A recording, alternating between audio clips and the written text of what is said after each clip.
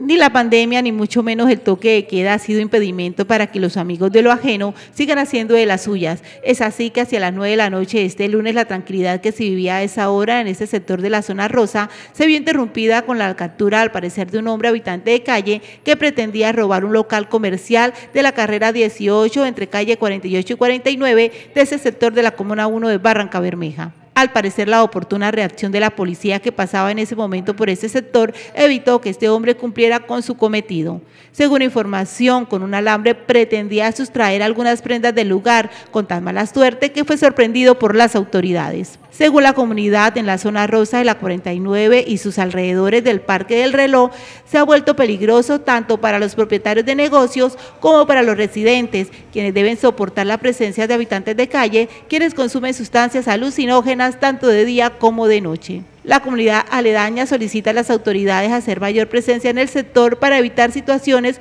como la ocurrida esta noche.